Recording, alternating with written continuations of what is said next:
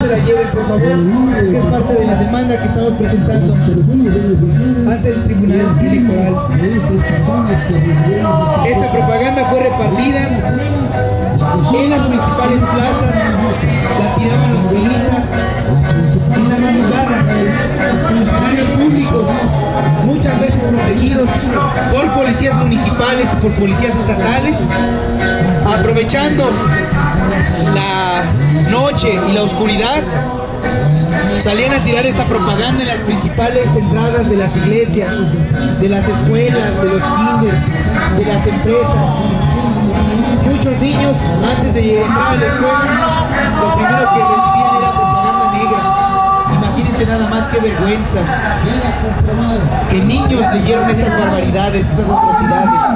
Así se presentó la elección en el estado de Hidalgo. Esto fue autorizado por Miguel Osorio Chong, por Jesús Murillo Carán y por Francisco Olvera.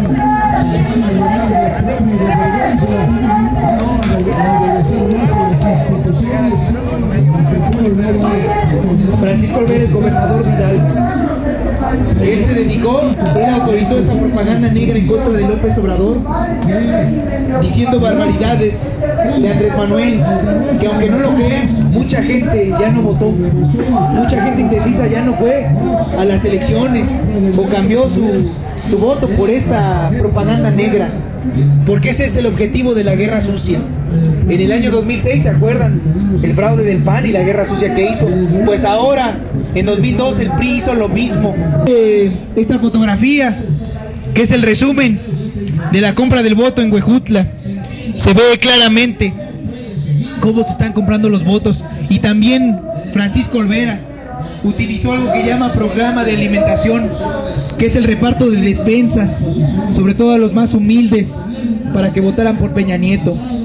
Así fue la elección en Hidalgo y los invitamos a que pasen a nuestro módulo, que lean la propaganda negra que repartieron los priistas en Hidalgo. Esta propaganda, así como está esta mesa, así amanecía en las principales calles de nuestros municipios en Hidalgo. Así amanecía las iglesias, las primarias, las secundarias, los kinders. Esta basura la leyeron nuestros niños, nuestras mujeres. Nos causa profunda vergüenza. Estamos indignados de esto que autorizó Francisco Olvera, Miguel Osorio Chong y Jesús Murillo Caram. No puede ser que en pleno siglo XXI se presenten estos actos tan vergonzosos para los hidalguenses. Así mucha gente fue intimidada. Así mucha gente dejó de ir a votar el pasado primero de julio.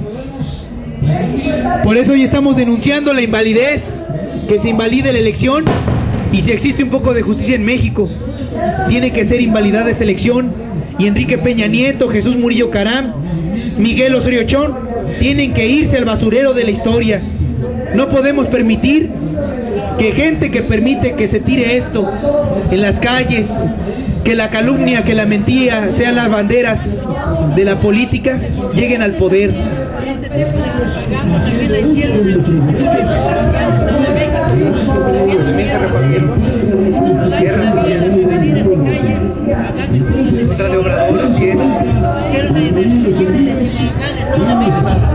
También se presentó en el Estado de México, en Chimalhuacán, esta guerra sucia, indignante.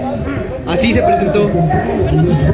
Por eso estamos denunciando hoy estos actos oprobiosos para la democracia en México.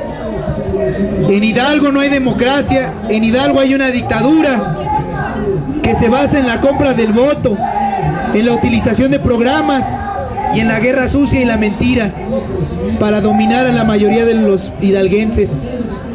Denunciamos e invitamos a que pasen a nuestro módulo. También invitamos a que vean la propaganda negra.